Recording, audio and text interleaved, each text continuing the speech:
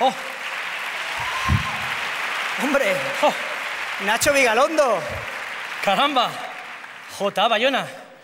Pero bueno, si si tú eres el rey del mambo, ¿qué haces aquí? O te veía en Hollywood ahí montado.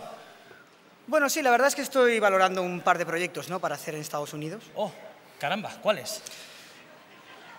Bueno, pues estoy ahí entre un remake de La Matanza de Texas de Toby Hooper Cojones.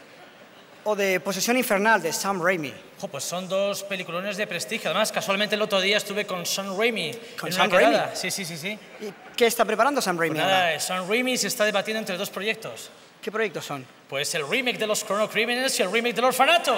¿Eh?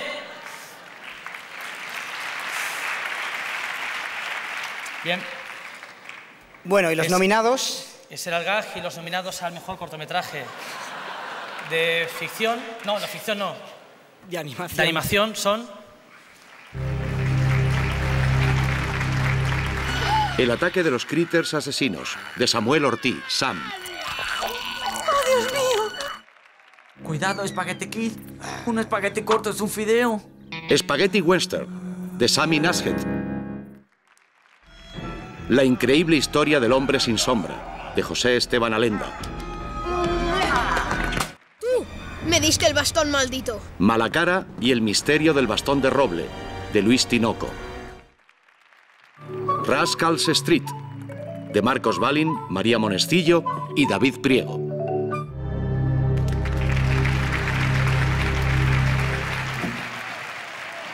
Bueno, y el Goya es para. La increíble historia del hombre sin sombra de José Esteban Alenda.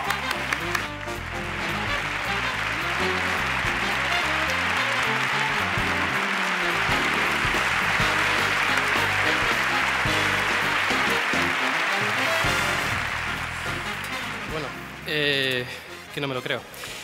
Quiero dar las gracias a todo el equipo que ha participado en este corto, La increíble historia del hombre sin sombra, y muy especialmente al director de animación, Juan Rubio, y a mi hermano que me acompaña, César. Eh, somos los hermanos Esteban Alenda y queremos dedicar este premio, en primer lugar, a la persona que ha dado nombre a nuestra productora, que es Solita Films, nuestra madre, Soledad, que es lo más grande que tenemos, y estamos increíblemente felices de poder dedicar este premio a la persona que nos inculcó desde pequeños la pasión por el cine eh, y probablemente, o permítanme el atrevimiento, uno de los grandes productores y distribuidores que hemos tenido.